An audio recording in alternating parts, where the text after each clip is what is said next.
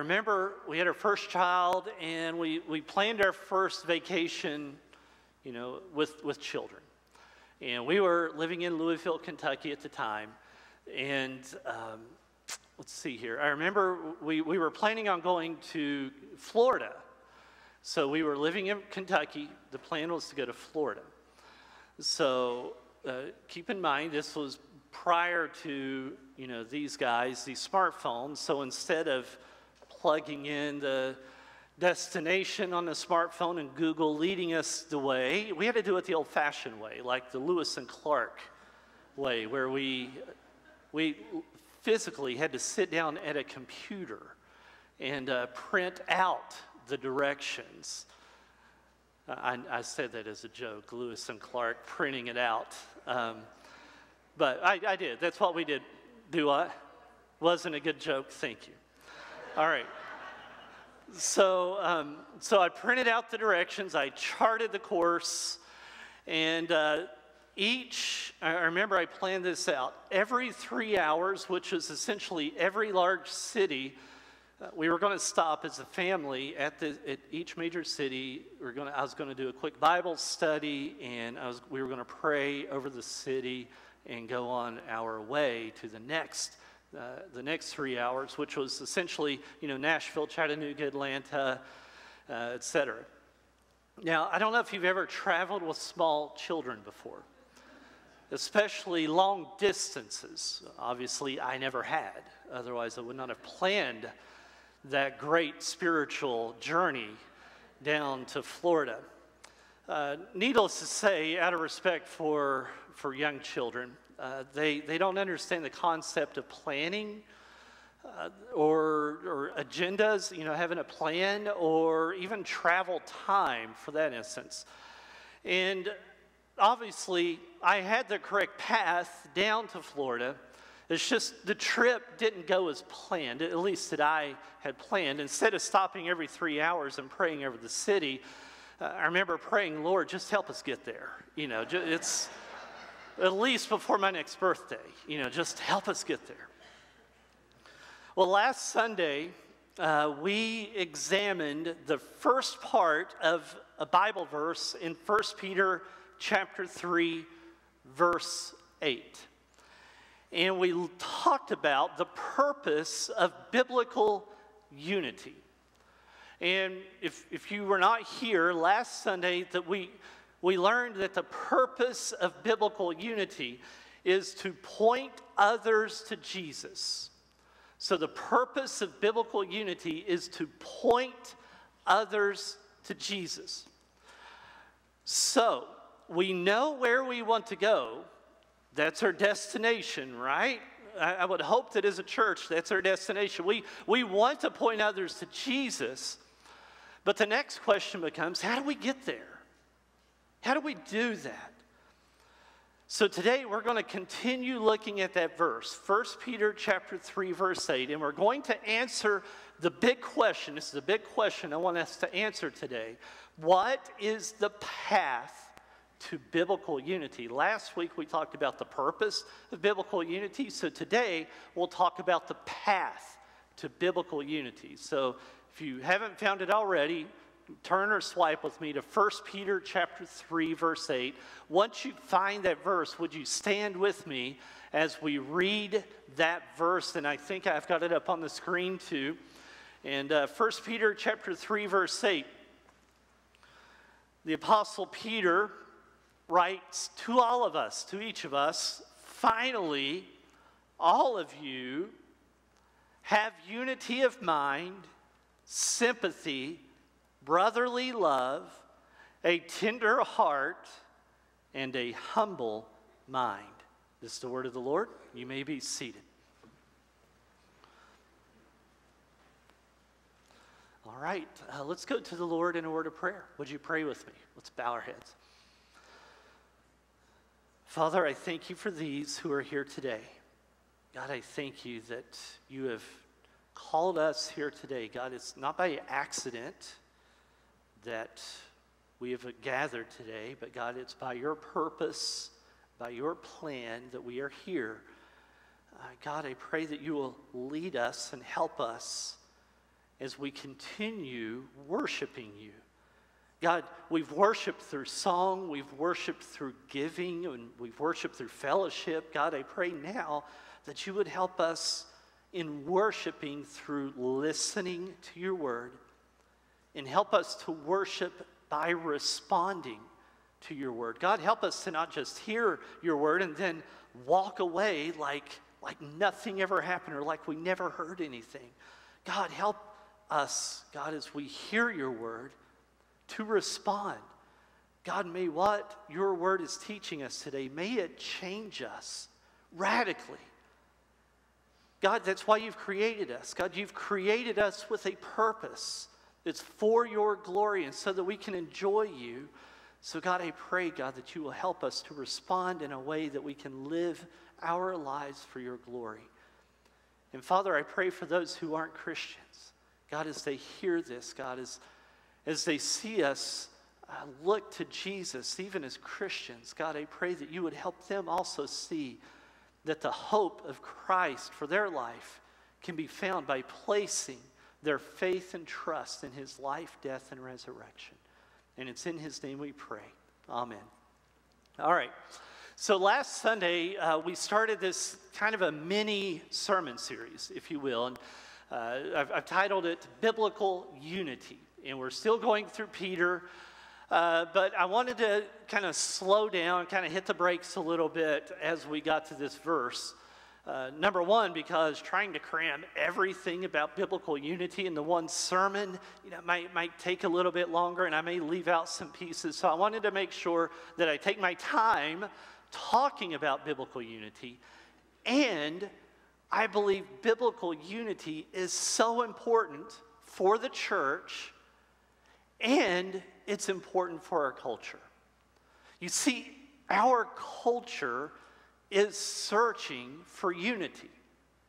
People are searching for unity everywhere, whether it's searching to be unified around a politician or, uh, or around an idea or an agenda or around a sports team. People even try to become unified around a cat video on YouTube right? People are searching for unity. But when we look at Peter, and if we go back a couple of chapters, you don't have to turn there, but Peter has already challenged us in 1 Peter chapter 1 verse 13. Peter said, "Prepare your minds for action." So he's already challenged us all the way back in chapter 1. Okay, prepare your mind for action. So now after we've gone through chapter 1 and chapter 2, now we're in chapter 3. Peter now challenges us. Now in verse 8, have unity of mind. So we prepared our mind. Now Peter encourages us have unity of mind. But how can this be? If you remember back in chapter 1, the church was scattered, right? They were in, scattered in various places. Things were not like they used to be for this church, and they are facing persecution. Now, let's apply that to us today. How can this be? You know, how can a church this size, with as many members as we have on the roll, how can we have biblical unity? How can we, as a church that averages what we do on Sunday mornings, how can we have biblical unity? What Peter's telling us here in 1 Peter 3 8. And that's the big question before us today. What's the path? What's the path to biblical unity? Thankfully, Peter gives us the answer. And the answer is so simple. It's actually a Sunday school answer. The path to biblical unity is Jesus. Jesus. And again, I know that sounds simple. And I know we could just close up our Bible and go on, go to tequila's for lunch. But we already learned in chapter 2 that Jesus is not only our great sin bearer, but he is our great example. So, I want us to keep our great example in mind. So, as we look to Jesus as our great example, we keep in mind that we also look at 1 Peter 3 8 what I want us to see is our path to biblical unity. And the first point that we see today is the path to biblical unity first is a Christ like attitude. So, the path to biblical unity first is a Christ like attitude. Now, again, if you remember, chapter 2, verse 21, Peter gave us the example. He said, Jesus is our great example. So, as Christ followers, our goal is to be like Jesus. So, if you say you are a Christian, then you are a follower of Christ. You are to be like Jesus. So now in 1 Peter 3 8, Peter tells us how we can imitate Jesus in our unity. And Peter declares, finally, all of you have unity of mind.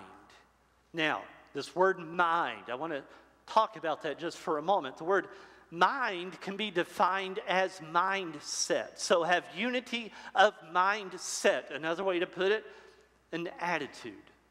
So have a unified attitude. So in our unity, we begin by looking to Jesus.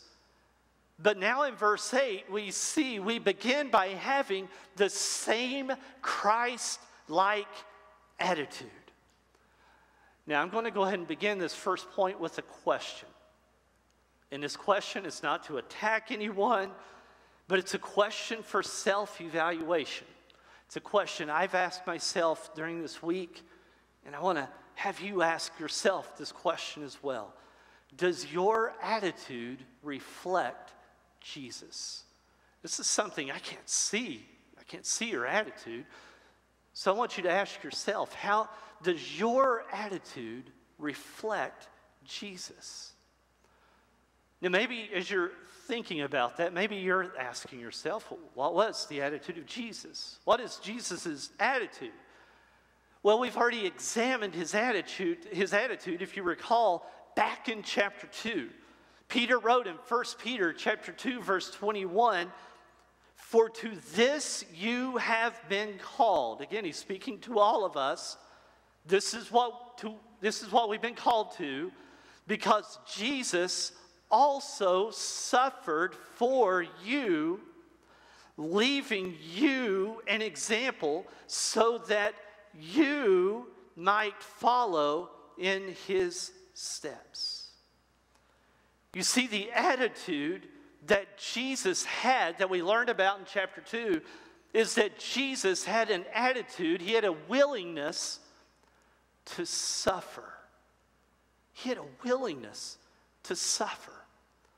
In the Gospels, uh, the Gospels uh, in Matthew, Mark, Luke, and John, first four books in the New Testament, um, G- uh, Matthew describes a time when a man came up to Jesus.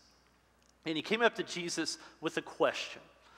And uh, it was actually a statement. Uh, he, he declared, Lord, I will follow you wherever you go. Sounds kind of like a hymn, right? Wherever you lead, I'll go. So he said, Lord, I will follow you wherever you go. It's a great statement. It's something that we invite everyone to do. Follow Jesus wherever he leads. It's where we want you to follow. But do you know what Jesus responded? In Matthew chapter 8, verse 20, Jesus said this to the man Foxes have dens or they have holes in the ground. Birds of the air have nests. But Jesus said the Son of Man doesn't even have a place to lay his head. So he said that, and then someone else came up to Jesus. And he said this Jesus, I will follow you. Again, that's great. That's what we we're looking for. But the man said, First, I'll follow you, but first, let me go bury my father. You know, Jesus, you know what his response was? Jesus said, Follow me and let the dead bury their dead. You see the point that Jesus is making in these two interactions. He was teaching this and showing us that we are to have an attitude of leaving everything behind to follow Jesus on the path of suffering. You see, the path of suffering for Jesus led Jesus to be betrayed by a disciple. The path of Jesus led Jesus to be arrested by the officials. The path of suffering led Jesus to be denied by another disciple. The path of suffering led Jesus to be slapped on the face. The path of Jesus led Jesus to be spit upon, to be beaten, to be condemned, to die the death of a criminal. The path of suffering led Jesus to be mocked, to be laughed at, to wear a crown of thorns. The path of suffering led Jesus to be nailed to a cross, to die a painful death. Jesus was willing to suffer. Why? Why? For you. For you. Again, Peter said, chapter 2, verse 21 For to this you have been called, because Christ also suffered for you. You see, Jesus suffered because we were like sheep that were going astray. We were lost. Okay, we were off the path. We were lost. We were searching. We were trying to come up with our own way but our own way was leading to destruction. So Jesus willingly suffered for us. So, if Jesus willingly suffered, if Jesus was willing to suffer for us, we who were lost, who were like sheep, who were going astray, then let's ask ourselves if he's our great example, are you willing to suffer for those who are straying? Are you willing to suffer for those who are straying? First, do you recognize anyone in your life who's straying from God? Do you know anyone that's straying from God? And are you willing to suffer because they are straying for God? You see, church members, members of our church, we can become unified when we are willing to suffer to reach the lost. So, do you trust God enough to suffer in the steps of Jesus? You see, if, if we are unwilling to trust God in the suffering so that we're not even suffering for the sake of others, then perhaps we're on the wrong path to unity. And this leads us to the second point we see in the passage. We see next that the path to biblical unity is not only a Christ like attitude, but it's Christ like character. Now let's continue on back to 1 Peter. In 1 Peter 3 8, Peter continues, finally, all of you have unity of mind. Again, we define mind as having an attitude. So, having a unified attitude, he continues, have sympathy, brotherly love, a tender heart. Let's stop there. You see, sympathy, brotherly love, a tender heart, these are all actions toward other people. They are to be shown and demonstrated towards others. The word sympathy. The word sympathy literally has this literal meaning of having a feeling like with another, having a feeling like with another. Brotherly love means that you just don't see someone as a friend, but brotherly love means that you see someone as family. And a tender heart, that's simply compassion compassion towards others. Now, again, who's our great example? Jesus. So we see each of these actions in Christ. We see these actions in Jesus. Jesus was sympathetic toward us by becoming sin for us. Jesus calls us brothers and sisters. Hebrews 2:11 says that Jesus is not ashamed to call us brothers. Jesus was compassionate toward us, and that while we were sinners, Jesus died for us. So when we place our faith and our trust in the life, death, and resurrection of Jesus, He not only saves us from sin and death, but He saves us to become more and more like Jesus. So when you join a local church, for example, here at First Baptist Church, especially here, we commit to one another that we grow in Christ likeness together. So that means by the power of the Holy Spirit, our attitude and our character are to reflect Jesus. Now, again, I'll ask this question. It's a question for us all just to consider. And it's to, for us to consider not only as Christians, but if you're a member, consider this question does the way you live your life reflect Christ? Does the way you live your life reflect Jesus? You see, we can't be a unified church if we live however we want to live. We must follow Jesus and we must follow him together. But how can we follow Jesus together? How should we reflect Jesus in our actions as members of a church. Let's put it simply and biblically a, a spirit filled life and even a spirit filled church reflects the character of Jesus. So let's talk about a spirit filled life and even a spirit filled church. Are you a loving Christian? Are you a loving church member? Are you a joyful Christian? Are you a peacemaking church member? Are you a patient Christian? Are you kind toward each other? Do you demonstrate goodness towards others within our church? Are you a faithful church member? Are you faithful to God? Are you faithful to your family? Are you faithful to one another? Are you a gentle Christian? What about self controlled?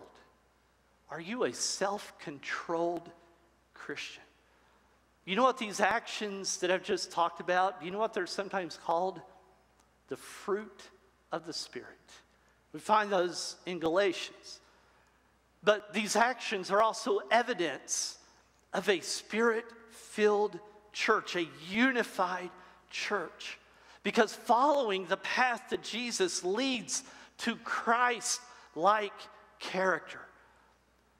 So let's, let's examine our life. Let's examine our walk with the Lord and what areas that I've just went through love, joy, peace, patience what areas in your life do you need to examine personally? What areas in your life do you need to confess to the Lord that you are not living by the Spirit in these areas of your lives? And these are significant questions that, that I really want you to ask because this leads to the next and final point that we see in 1 Peter 3 8. And it's the final step the final way that we see to unity. And the path to biblical unity is not only a Christ like attitude or Christ like character, but finally, it is Christ like humility. Again, let's reread verse 8. Peter said, Finally, all of you have unity of mind. Be sympathetic towards one another, brotherly love, a tender heart, and finally, have a humble mind. Now, We know a lot about humility. You hear it in Sunday school a lot, or even hear it through sermons. But let's talk about it within the culture. Here's Peter's writing this, he's penning it, and he's writing this letter to the scattered churches. They live in ancient Rome, so they're scattered in different places in this Roman culture.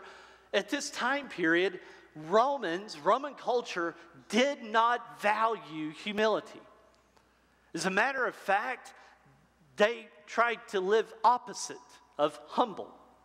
They thought that humility was a sign of weakness. They thought that humility was shameful.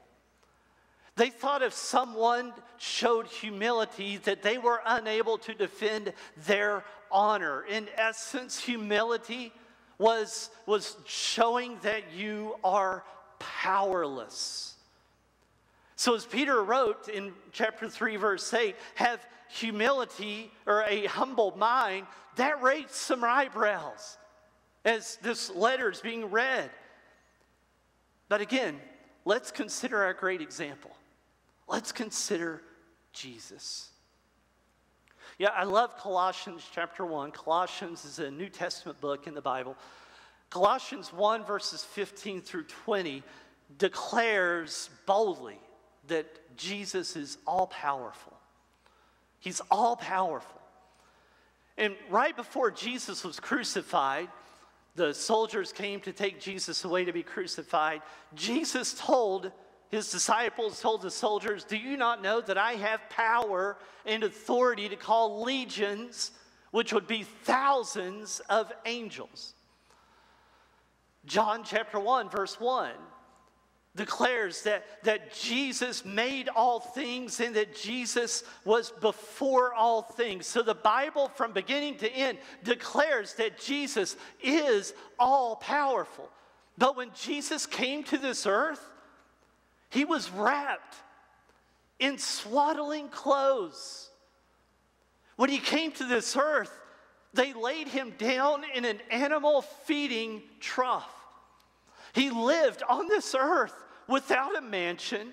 He didn't have a roof over his head, and we just learned earlier he didn't have an, even have a place to lay his head down. He took upon himself the form of a servant. And he took upon himself the form of a servant, and he humbled himself to demonstrate, to display obedience to the Father's plan for our salvation. So, as we look to our great example, we learn from Jesus' humility. Unified Christians are humble Christians. Unified Christians declare they are powerless without the power of the Holy Spirit. A unified church is a humble church. Unity begins with humility. There's a famous author, pastor from the 1800s. His name is Andrew Murray. He once said this Humility, the place of entire dependence upon God, is the first duty of the creature. So it's the first duty of humans. And it's the root of every virtue.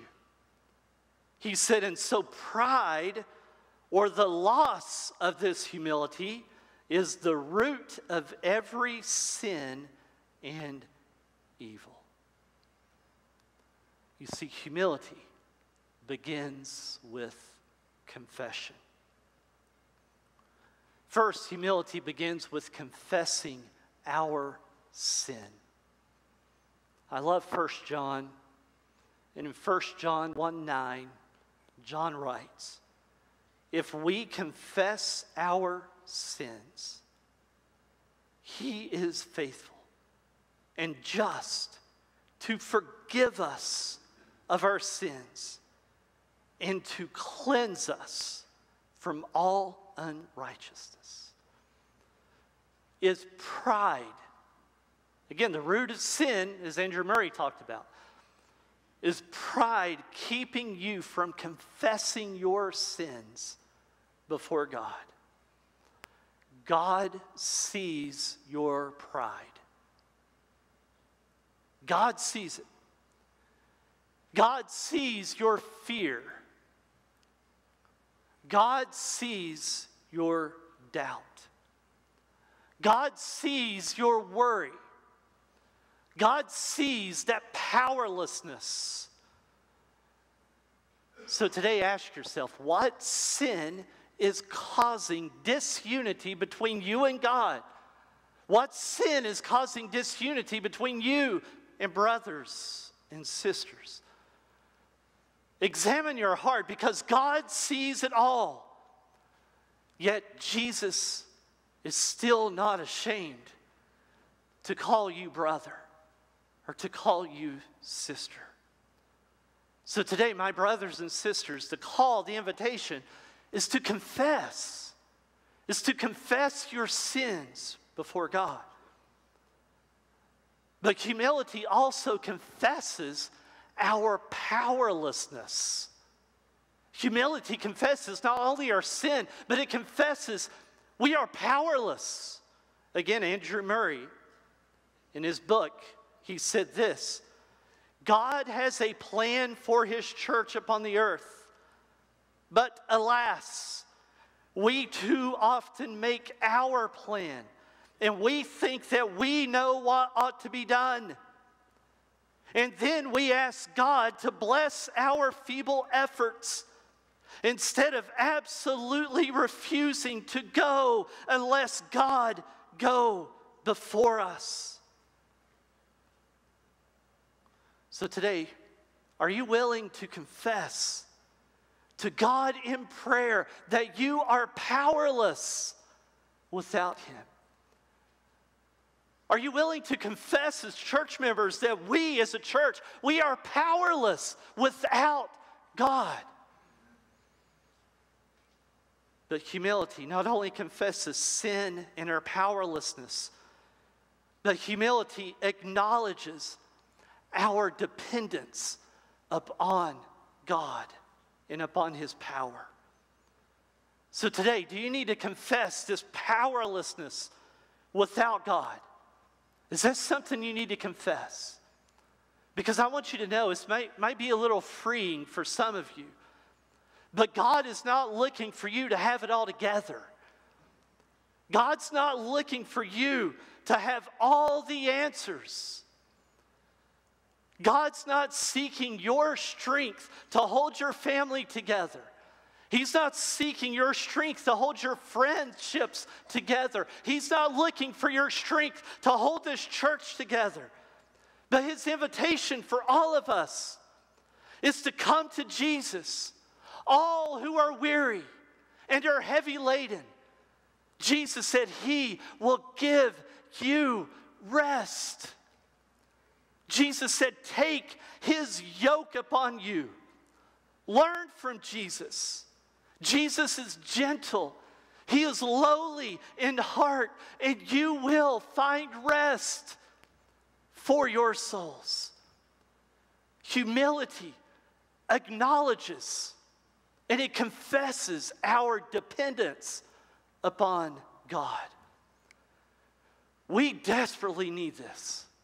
We desperately need to cry out to God and to seek His power in our life and in the life of our church. Like we looked at this biblical path to, to, uh, to unity.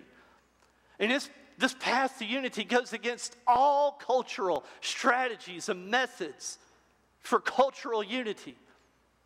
But biblical unity points others to Jesus. Biblical unity points others to Jesus. So if we really want to see revival, it begins with our Christ like attitude, our Christ like character, and our Christ like humility. So, again, it's an invitation to prayerfully examine your heart. What sin is causing disunity between you and God? What sin is causing disunity between you and our church? Maybe today you need to confess to God a sinful lifestyle or even a sinful character that does not reflect Jesus? Do you need to confess a selfish attitude before God? The invitation today is to come to Jesus and to pray, confess your sin to God. God knows it, He knows the pride in your heart. So the invitation He's calling out is to come. Maybe today you're a church member. And maybe today, for some, maybe you need to confess to God your lack of a desire for unity. Maybe you just, maybe you have an unwilling attitude. Perhaps you've been unfaithful as a church member. Or maybe you've lacked humility. Today, I invite you to confess your sin. Come to God. Confess your powerlessness to Him. Confess your dependence upon God. We need God. And today, if you're a sinner, my invitation to you come to Jesus. My prayer is, is that when we have our invitation time in the service, is that as you see our church pray and confess to God, my prayer is for you is that you will come to God. Is that you will place your faith, your trust in the life, death, and resurrection of Jesus for your sin. So, in just a moment, we're going to sing a song of invitation. I'm going to stand up here at the altar. I want to pray with you. I'm going to stand here. I would love to pray with you. Come up, let me shake your hand, and let me talk with you about how to become a Christian. We're going to have people praying that you will do that. So that's the invitation for you. Would you bow with me as we pray?